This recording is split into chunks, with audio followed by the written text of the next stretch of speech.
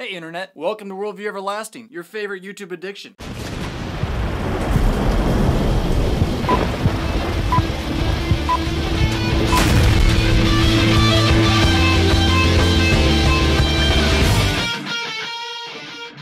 And on today's show, a question about prayer and the persistent widow, and a question about law, law, law, law, law, law, law, law. And I'm not talking Christmas. All the way home, I'll be warm. Right on, stick around.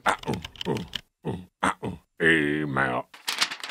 Hey, Rev Fisk, I had a couple questions about prayer. Does the parable of the persistent widow teach that we ought to be persistent and repetitious in our prayer request, and that perhaps as a result of this be more likely that our request be answered favorably? Also, is there ever a point that we as believers can recognize that God has denied our request and we should stop praying for a specific thing, like the case of Paul's thorn in his flesh? That's a really interesting set of questions there, and in one sense, you've answered your own question by recognizing that there are simply some prayers that God is not going to answer this side of the resurrection of the dead, as is the case with Paul's thorn in his flesh. We'll come to that in just a moment. But first, let's just dig into this whole persistent widow thing. What you've got your finger on there is a way that many people do teach this parable, that the point of this parable is that, like the persistent widow with the unrighteous judge, we'll read about that in just a sec, you also should go to God repeatedly, and as a result of your constantly banging on his door, he will answer your prayers. The problem with this right off the bat is that it puts prayer back into that realm of magic. Wingardium Leviosa.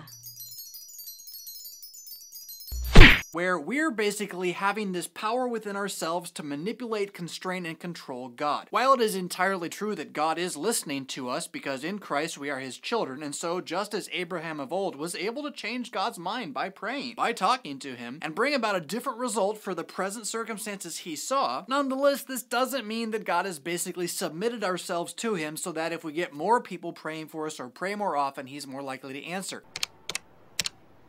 Pray for Mojo. He's really not that petty, yeah? It's not like he's up there and he's just so needy. And if only, like Tinkerbell, hearing the children clap and snap, we could all just get our noise up into his general direction, then he'll have more power to do what he wants. So, well, let's look at the parable of the persistent widow itself and see what Jesus says the meaning of the parable is, because it's really something quite different. And while it does have to do with prayer, it really isn't about you and what you can do to make God happier with you and more likely to bless you than he already is is. Help us even tonight to reprogram our software, our thinking to come up a little bit higher. That would be to say it's not about how you can justify yourself before God. Which, have you noticed, it kind of always comes back to this question on one side or the other. Either someone is teaching that what the Bible says is that you need to justify yourself before God, or they are teaching that the Bible says that you are justified by God for the sake of the grace He's given in Jesus Christ to create faith and trust and restore you to relationship with Him, out of which indeed do flow good works, but good works aren't really so much the point as God's own eternal imputed righteousness. Yeah? As Issues Etc. is wont to say, it's not about you, it's about Jesus for you. Hmm? Alright, Luke chapter 18. And Jesus told them a parable to the effect that they ought always to pray and not lose heart. A little Greek work here, real quick. Now, while that is a fine translation of the literal Greek text, it does kind of carry along with it the connotation that this is about repetition, you know, that you will be heard because of your many words, rather than here is the real emphasis that you would not lose heart. That is to say, the Greek is more concerned with you understanding from this parable the necessity that you not be discouraged or be weary or be afraid of praying. It's not like God isn't listening to you. In fact, that is the point. The point of the entire parable is going to show us that God is listening to you the first time you pray. In a certain city, there was a judge who neither feared God nor respected man, and there was a widow in the city who kept coming to him and saying, Give me justice against my adversary. For a while he refused, but afterward he said to himself, Though I neither fear God nor respect man, I always begin most of my decisions in the day as well in the same way. Though I neither fear God nor respect man, I think I shall go to Starbucks today. It's just kind of, you know, the way I do things.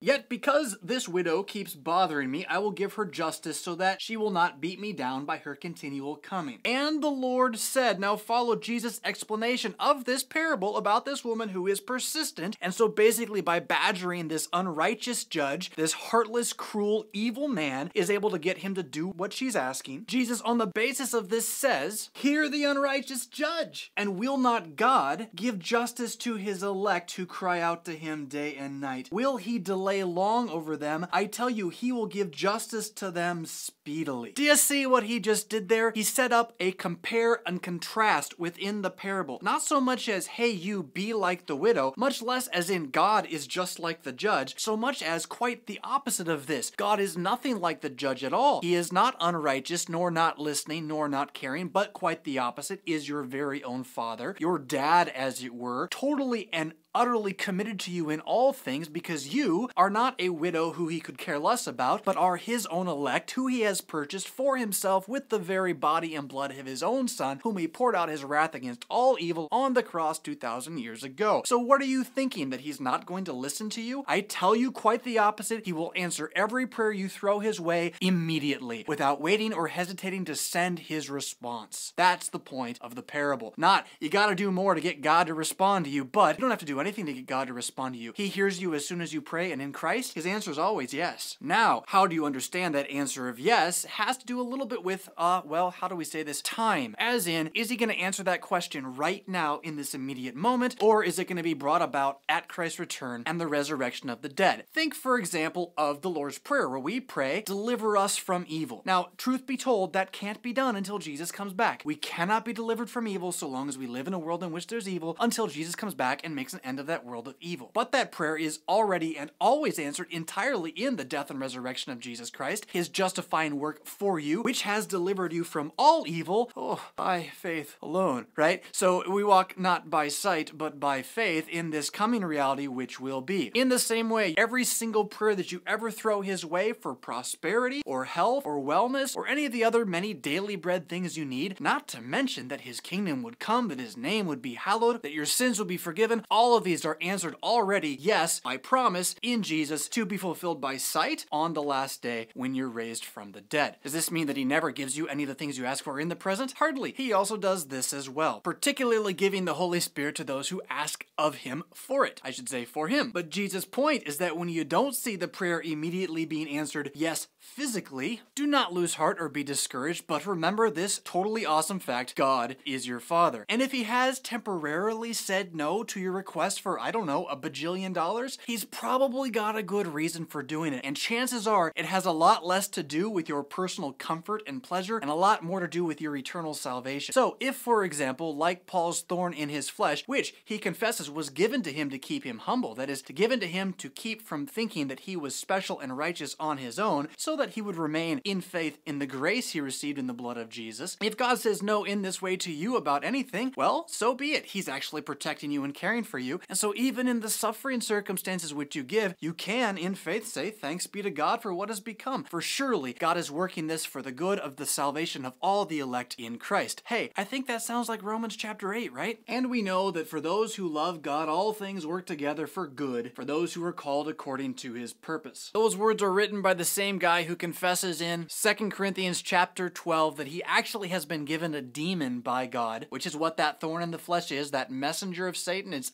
angelos, angel, an angel of Satan, to harass him, to keep him from being conceited, so that he might always remember the most important thing in the world, the gospel. My grace is sufficient for you. My righteousness is sufficient for you. The power of Christ crucified is sufficient for you. So does this mean that therefore we should go out and pray day and night so we can get what we want because we're gonna just badger God into doing it?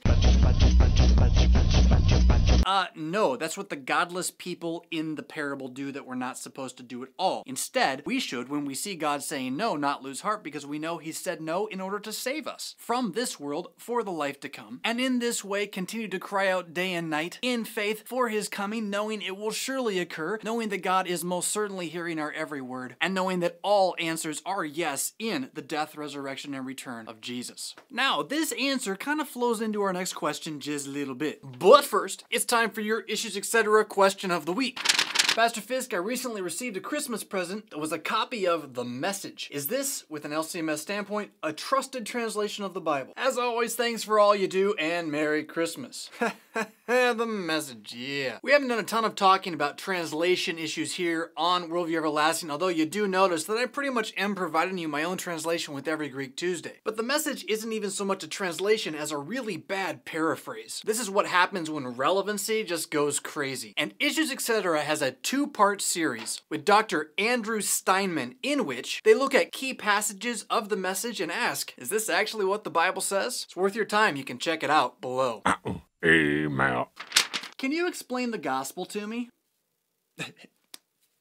I don't know. Can I? As a former Jehovah's Witness, I have heard the law, law, law. And now I'm a member of an LCMS church, but I seem to be experiencing the same thing. What truly is the gospel? I brought this up with my pastor, but he says the law needs to be preached in order to understand the gospel. Now, I don't know your pastor, so I, I don't want to condemn him. I'm sure he's trying really, really well, but what seems to be happening here is he's not hearing where you are at this point as you ask these questions, and he's kind of not taking into consideration maybe what you personally need to hear versus what your congregation that you're in needs to hear. It is true that as we rightly distinguish law and gospel, the law must in fact be preached. But the kind of hard challenge is that for someone whose ears have been tuned by a life of subservience to a false religion, to a cult like the Jehovah's Witnesses are, that basically make everything about the law in a very direct and specific way, it can be hard to unplug those ears to hear the gospel even when it is being preached. And so you have sort of a special challenge. My guess is, to some extent, your ears are naturally latching onto the law being preached and pulling that home and keeping that as true and sort of skimming over the gospel as if it weren't even there. I can kind of share this idea with you with a story that people have heard before. I wasn't the first one to have this experience myself either, but it certainly happened to me. I know others will have this as well. With my first study Bible, when I started like really getting into reading the Bible and being a Christian, I started highlighting and underlining stuff, right? And I, I did a lot. I mean, my, the, the New Testament was just filled with like highlighted paragraphs and pages and all this stuff. Later, though, when I was at seminary and I went back and started using this Bible again, what I found was that I had highlighted almost everything that was about me and what I'm supposed to do, and just managed to skim right over all the stuff that was about Jesus. All the proclamation of who he is and what he's done his death, his resurrection, the imputation of forgiveness and righteousness, the reality that you are reckoned righteous for Christ's sake by faith alone, which doesn't mean by a work of believing, but in fact by receiving a promise that's entirely outside of you, by being baptized into his death and resurrection, by being given his flesh and blood at the supper. All that stuff I didn't highlight. I skipped right over it. So my ears, my eyes, my heart was attuned to the law, and so that was all it really heard, even though the gospel was there. So that's kind of the first thing you gotta do in the church that you're in, which is go looking for the gospel. Now, you've asked, what is the gospel? Start with the second article of the Apostles' Creed. Let's just kind of let that be the foundation point for what the gospel is. Have it bleed over,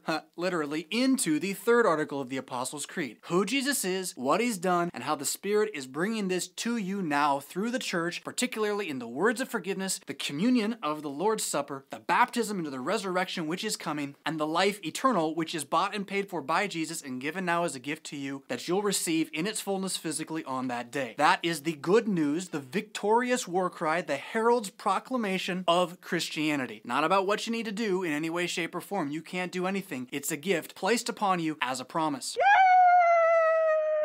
For someone whose heart has been so destroyed by the law as yours has in that cultic experience, Kneel before Zod! learning to hear that gospel as the real thing and let the law, which is being preached, which Christians do still need to hear, not steal the gospel from you, that's going to be a challenge that is only fixed with time. The way that it's fixed with time is that gospel being preached again is going to teach you how to look to it and like be like, oh, that's my reality, that's my identity, that's where I stand in God. Yes, this other stuff about being good is true, but it is not affecting how God thinks about now. Hear what I'm saying? Now, I would be uh, admiss. Admiss? Is that a word? I think so. to not point out that there is the potential that whatever Lutheran church you happen to be in, and there's lots of different kinds of churches out there that have the name Lutheran on the sign, may not actually be preaching the gospel. And I'm concerned that your pastor, when you came to him, you know, hungry for the gospel, didn't give it to you, but instead gave you the statement that you need to hear the law, which again is technically true, but like the whole point of Walther's Law and Gospel, something of a foundational document in the Missouri Synod, is that the duty of the soul carer, the spirit healer, the pastor, is not simply to proclaim God's word willy nilly each direction, assuming that it's always being rightly distinguished, but to also learn to recognize that the hearer may have certain needs at certain times, depending on the state of their soul. So that the Christian who comes to me and says, Yeah, Pastor, I believe in Jesus, but I think adultery is pretty cool, and I plan to just do that for the next couple of years rather than get married. I think I'm going to sleep around with as many people as possible because it feels good and I'm free in Christ. Well, to that person, no gospel should be spoken at all. There's no forgiveness of sins. You are unrepentant. You deserve to burn in hell, and you probably are going to because clearly you don't trust Jesus at all. Otherwise, you'd trust his words that that thing you're saying is awesome is actually evil and destructive. At the same time, the person who comes to me and says, Oh, Pastor, I have committed adultery. I am so sorry about this. It, it's something, that was an accident. I, I no. Notice the attempt to justify yourself by saying it was an accident, but I am sorry, I repent, I never want to do it again, please forgive me. To that person, I'm not going to say, Well, do you really repent? You know this was wrong, didn't you? No, they obviously know it's wrong. Instead, I'm going to say, This is what Jesus died for, to cover you with his blood. Distinguishing that law and gospel as it's applied to individual people, something that can't really be done from the pulpit. And so, from the pulpit, you are in a faithful church going to hear both law and gospel proclaimed in all their fullness as two different words from God, both entirely true, but only one of which actually saves, and thus should predominate that gospel proclamation of who Jesus is and what he's done. But who Jesus is and what he's done is the fulfillment of the very law which condemns us and guides us in the way that we should go. Jesus himself lived that law perfectly. How then can we, who have been saved from our evil by that living, by that sacrifice, by that atonement, look upon that law and say, well, pff, don't need that anymore? No, we don't say that at all. Instead, we uphold it. We love it. We strive to be good. We strive to love our neighbor as ourselves, recognizing we always fail in that until the last day when the resurrection will make us walk by sight, even as we now confess by faith. And oh, what a blessed day when freed from sinning I shall see him face to face, clothed then in the blood drenched linen, totally justified by grace. And I know that's not exactly how the song goes, but that's the point. What is the gospel? Who is Jesus? What he's done for you. That's what Christianity is actually about. The law, Christianity teaches that too because it's true. But it is a secondary teaching insofar as it's not really the essence, the heart and soul, which is why, if you look at our creed, it's not actually there. I mean, it is in the first article of the created order and the design in which God made us to live, and you gotta go find the Ten Commandments to explain that. But see, this is kind of the point. What does it mean to stand before men and confess Jesus? It's not to stand up and say, hey, all that sin. It's to stand up and say, hey, I'm a sinner, and Jesus died for me anyway. He died for you too. He rose from the dead. He's justified us. He's coming again. Can't wait, because at that point, all this evil is gonna go away. Ah, delivered. Yeah, prayers answered. Yeah, looking forward to it. Hope you are too. Thanks for tuning in. Catch you next time. If you like the show, remember you can always like it. You can subscribe to the channel. You can share it on Facebook or Twitter or what have you, and join the Lutheran Ninja Clan, which helps make it possible by funding our editing and whatnot. Yeah, yeah, yeah, yeah, yeah. Rock on. You will bow down before me! You, and then one day, your heirs!